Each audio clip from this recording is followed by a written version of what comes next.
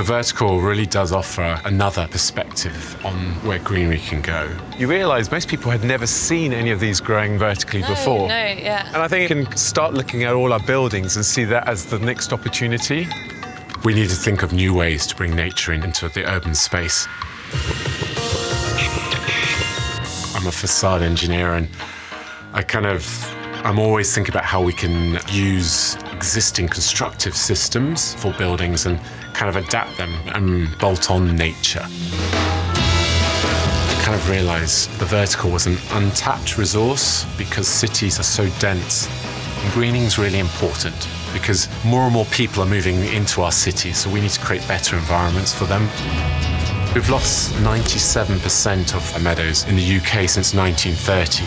97%. And for me, the idea of bringing it back and kind of educating people about it is, is part of getting people to recognize the value of it. Habitat loss to urban areas can't be restored as it was. But Alistair's approach offers opportunity for native plants to return in a different way by growing directly on the walls of buildings. Not only does that bring greenery back into the city, it creates habitat for the birds, insects, and other creatures that once lived there. I think these, these are my favorites. Every, they're normally the earliest flowering species. This is what supports the pollinators in cliff zones. Um, so very exciting that we've been able to reproduce it in our own little cliff. The cliff, in this case, is the outside of Alistair's office in London, which serves as his laboratory and a stepping stone for insects and birds passing through the city. Each vertical meadow contains a diverse mix of native plants that are grown on site. Most living wall systems are not about seasonality, it's just about keeping green. What we're doing is creating a, a seasonal living wall. Alistair's meadows aren't just pretty flowers. They're a natural mix of plants one would find in the wild in this region, and they change throughout the year. All of this kind of messiness and, and kind of brownness is part of life. You've got this kind of a mixed sward of kind of um, leaves, grasses, etc., which allows space for all these kind of critters to, to grow in. It's actually building that ecological world. The great thing about wildflowers is that they don't need much water and they'll pretty much grow in any condition, which when you're trying to grow vertically, is perfect. Alistair designed a metal cladding system as a permanent fixture and a temporary wrap meant for construction sites. Both repurpose existing engineering systems to work in new ways. This wrap contains a layer of waterproof backing, recycled clothing, seed paper, and reusable tubes that deliver water. The leftover water from irrigating the plants is then fed back into the system. Together, the two options allow many available wall spaces to become a bit of habitat in the city. So this um, will be on a construction site and this mat will be installed in an hour maximum. And you've got about 10 metres of living wall ready to go.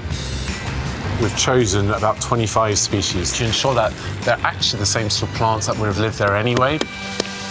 Alistair gets his seeds from the largest producer of native wildflower seeds in the UK, one who shares his passion for innovation and restoring biodiversity. I've been a botanist all my life, and um, I've been growing wild species for 43 years. We use hand harvesting to collect stock seed of pure species. The flower species are important because they support the invertebrates and they support the birds. Unlike single species crops like ryegrass, which blanket much of the UK, Donald's meadows contain many different species of native plant. That greater variety supports more species of insects and other animals. And the genetic variety present in wild populations offers a crucial additional benefit the biodiversity here within this field is huge.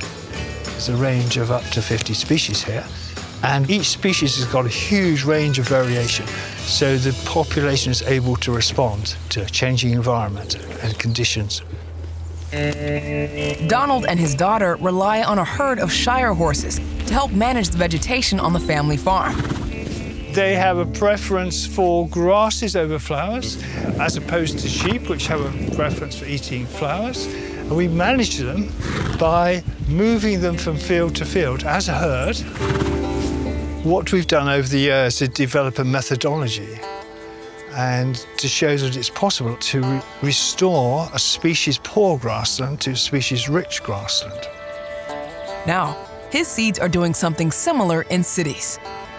It may not be a meadow like we have here, it might, it'll be something different that's suited to the urban setting and can contribute to ecosystem services, providing within the city clean air, water, pollinator services. By supplying the seeds to Alistair, Donald is establishing plants in the city that will provide habitat and food for butterflies, birds, and other animals. If enough meadow is planted, they'll create wildlife corridors throughout the city. Scarlett Weston is working with Alistair to build what she calls beelines, part of a larger network of corridors she's helping to develop across Great Britain. Most species of solitary bee can only travel 300 metres if they don't have a flower to land on, they will not have the energy to continue that flight. By having the stepping stones of, of wildflowers along the route, they can move through the landscape. Yeah, come and have a look. Come and have a look. Oh, yeah. There okay. we are. That's very cool. Yeah. For Alistair, vertical meadows are a way for cities to become more connected to the natural world. Actually, what will come out of it in maybe 10 years' time is a completely different kind of habitat. And that's quite exciting. We've got to be adaptive in our view of what nature is. Thanks for watching this episode. If you'd like to dive deeper into this story or learn how you can help protect biodiversity near you, visit wildhope.tv. And come back on Mondays for more Wild Hope right here at PBS Nature on YouTube.